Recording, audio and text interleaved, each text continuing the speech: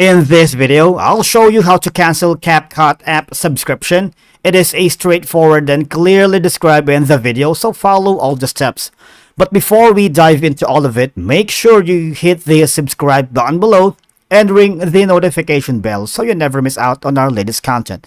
So let's begin. Now, there are multiple ways for you to be able to cancel your cat CapCut app subscription. So first, all right, if you're using your mobile device, open the uh, CapCut application in the bottom right corner. There's an option called Me. All right, click on it. It will launch your profile from where you will need to click on the hamburger menu right here at the top right corner. Click on that and manage account. After doing so, you will be able to see a delete account option at the very bottom, right? And of course, you will need to authenticate the deletion by logging into the account associated with CapCut, alright? And this will delete your account. Now, on iPhone and iOS devices, click on settings right here. Option on your iPhone main interface. Click on the Apple ID on the top of the screen. Now click on subscriptions option right here. It will then show you all the active uh, subscription. You will see CapCut option over here and can see the amount being charged on next renewal date.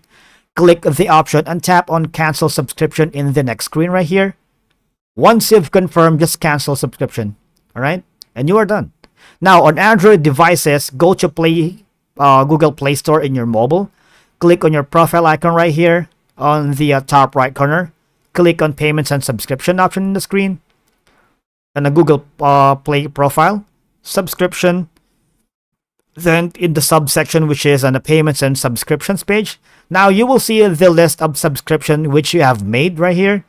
If you see uh, the uh, CapCut click on cancel subscription at the bottom. Confirm the cancellation all right now on your pc on the respective app store for microsoft or mac as applicable all right click view information and it, it might ask for you to sign in all right open the uh, subscription tab and click on Manage. Choose the Edit option next to CapCut application and click on Cancel Subscription. In case you want to delete your account on the PC, click on Menu option from the very top logo and choose Account. Here you will find the Delete Account option. Click on it and verify your credentials and you are done. And that's it for today's video. Thank you so much for watching guys. We will see you all in the next one.